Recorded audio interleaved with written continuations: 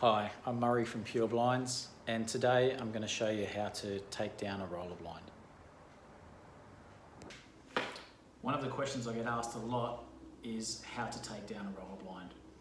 Now there's a few different types of blinds on the market. The roller blinds have a bracket at each end of the tube.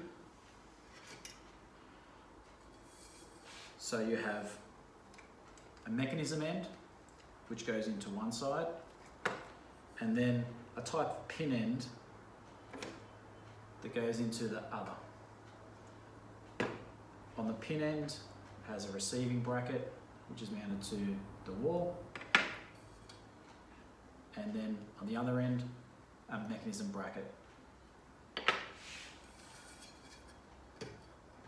There's a couple of different types of mechanisms and pin ends. But to make it simple, uh, let's just say that the two main types are either going to have a turning function, which releases the pin and allows you to take it out.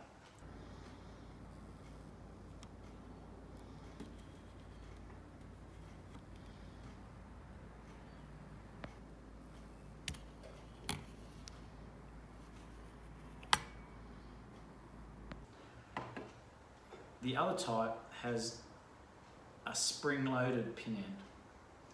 So there's nothing to turn to make that release and that's taken out by pushing the whole unit and then lifting and coming out. But we'll get into that in a minute. Pin end, which is retractable with a spring behind it. It sits into a hole in the bracket and is pushed in and locks in place. For this particular type of roller blind, you need to take the blind out using the other end. This end is the mechanism end and you would normally see a chain coming out here but for just ease of demonstration and not getting it in the road the chain is not on this at the moment.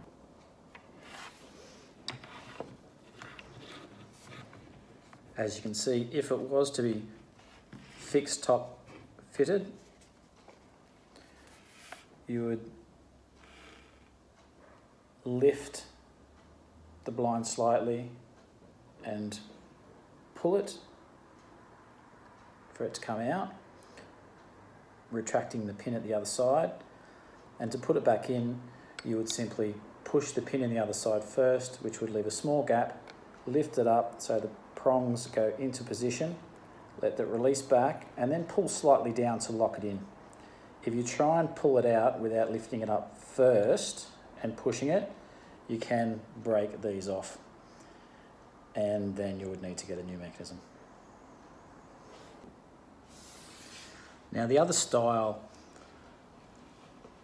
of pin end, which is retractable and adjustable. There is a spring in here, but the other end is used to put in first, and then this slides into the bracket. Now to release it, all you need to do is to turn this plastic cog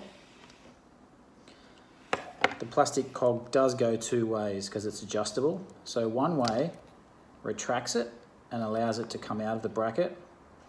And if you're installing and there was a small gap the other way,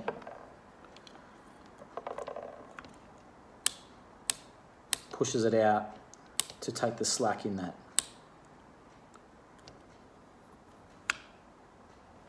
So if you do start to turn it one way and you hear a click, it's the wrong way.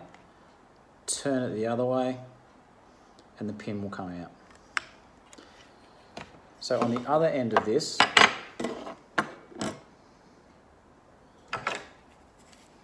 is the mechanism.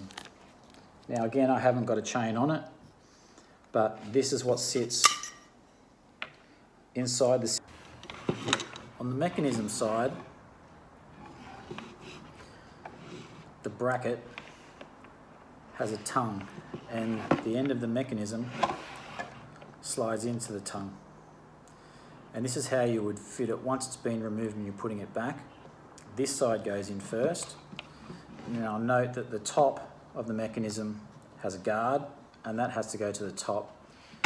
If you install it to the side too far either way, when you operate the chain, it's going to drag on this and you'll hear a noise and that'll be indication that it's not fitted correctly. So this piece needs to go to the top. It simply locates in and on the other side you would simply just lift it up and it would locate into position and then you can adjust if there is movement back and forth you can adjust it.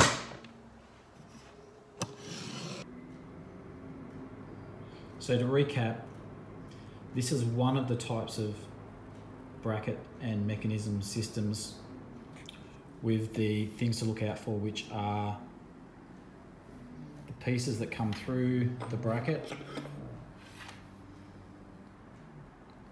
and the push in pin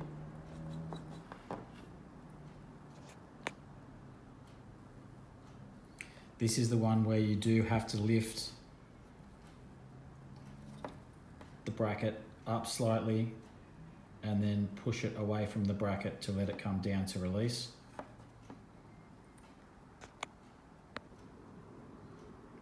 And this is the other system with the cog that you need to turn to retract the pin to let that end come out of the bracket, the bracket, releasing it, and then you can pull this end